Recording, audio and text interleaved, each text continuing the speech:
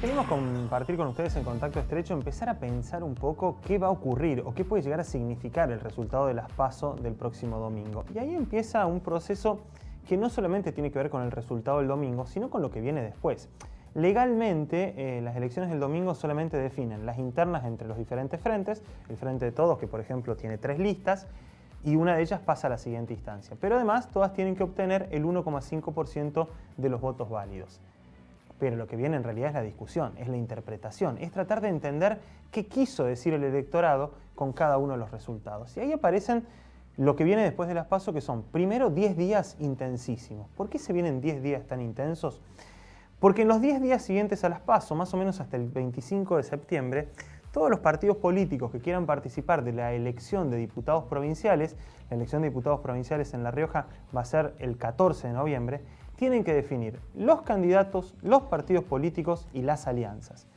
Entonces, los 10 días posteriores al resultado de las PASO va a ser 10 días en los cuales va a haber diferentes operaciones, especulaciones políticas, tratando de ver qué resultado tuvieron las PASO y también de quién se posiciona y quién no se posiciona de cara a ese proceso electoral. Ya hay algunas declaraciones, si uno repasa las declaraciones que hizo con los colegas de Rioja Virtual, el ministro Ariel Puisoria dijo, para mí en Capital tiene que haber dos listas del peronismo. Lo mismo dijo Ernesto Pérez, el secretario de Agricultura en las últimas horas. ¿Por qué tiene tanto valor eso? Porque todo indica que la oposición va a ir dividida. Entonces, si la oposición está dividida, ¿por qué el PJ también se va a dividir? Y allí algunos especulan con una lista quintelista pura, por llamarla de alguna manera, y otra que represente a los diferentes sectores que componen el justicialismo. Hay que recordar que en estas elecciones se renuevan nada más y nada menos que ocho bancas de diputados provinciales en capital. Distrito electoral en el cual en la última elección justamente el peronismo perdió, y perdió a manos del radicalismo, de Juntos por el Cambio en aquel momento, que se presentó y logró la intendencia de la mano de la doctora Inés Brizuela Por eso, capital no son solo ocho legisladores. Es el comienzo de una pelea muy fuerte, también pensando en el 2023. Además de estos 10-15 días muy intensos que van a venir después de las PASO, lo siguiente que va a ocurrir es saber quién es la oposición, algo de lo cual venimos charlando desde hace mucho tiempo.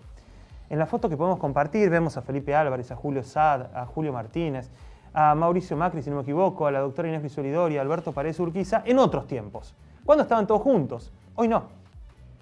Juan Amado y Luciana de León por un lado, Julio Sad y Nadina Reynoso por el otro, se juegan políticamente mucho en la elección del próximo domingo.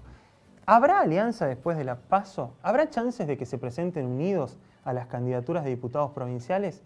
Ahí la clave para entender el domingo es la distancia.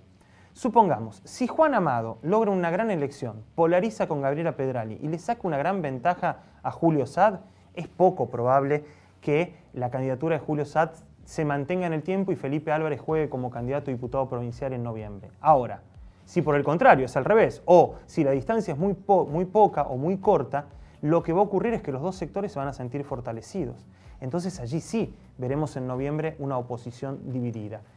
¿Qué se juega el domingo para la oposición? Saber quién es quién. Saber si esa división fue en partes iguales, si el voto antiperonista se fue la mitad para un lado y la mitad para el otro, o si realmente hay alguno de los dos sectores que en realidad representa a la mitad o no del electorado en referencia a la oposición. Pero es un proceso largo, lo decíamos recién. No solamente tiene que ver con esto, tiene que ver también con un fenómeno a nivel nacional. A nivel nacional se ha instalado mucho la discusión sobre los libertarios.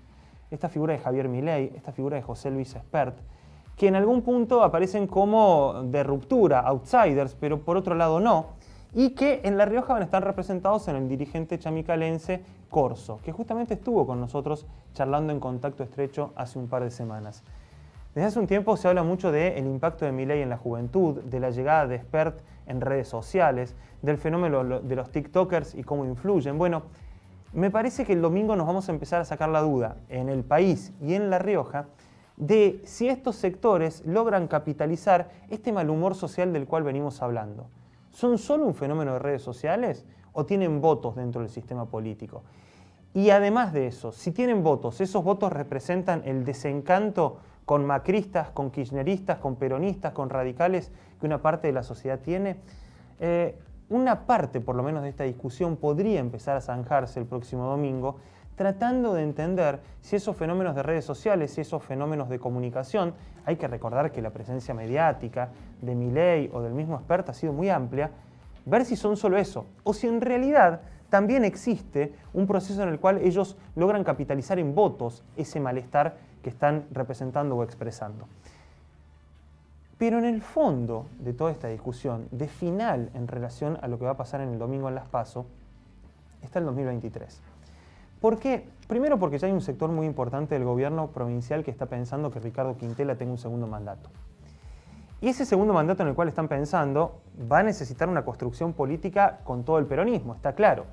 Todo el peronismo que hoy no incluye a la vicegobernadora Florencia López. Hoy Florencia López no es parte de ese armado. Y esa foto que estamos viendo de un Quintela sonriente junto a Sergio Casas, hay que pensar que hoy Sergio Casas tampoco es parte de ese armado. Hay que recordar que ni Sergio Casas, el actual diputado nacional, ni la vicegobernadora Florencia López se expresaron nunca públicamente para apoyar la fórmula de Pedrali con Ricardo Herrera.